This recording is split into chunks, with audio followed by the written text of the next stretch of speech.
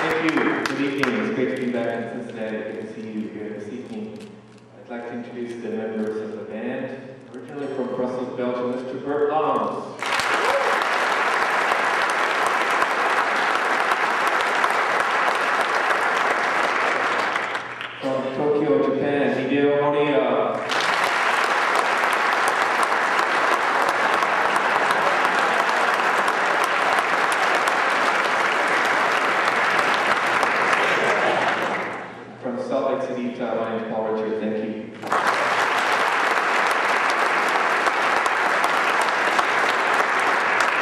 You might be wondering how a Belgian, a Japanese, and a Utah became the California Guitar Trio.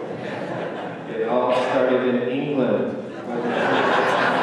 The three of us met studying guitar with British guitarist Robert Fripp. And the first piece of music we played was uh, is named after a place in England near where we lived when we were studying music with Robert Fripp.